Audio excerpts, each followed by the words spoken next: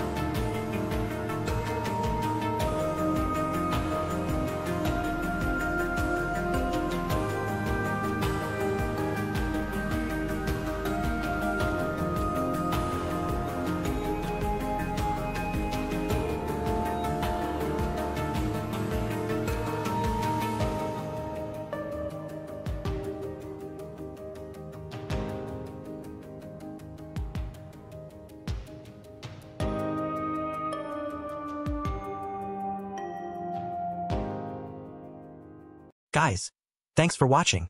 I hope this tutorial helped you understand how to print your name and address on different lines in a program.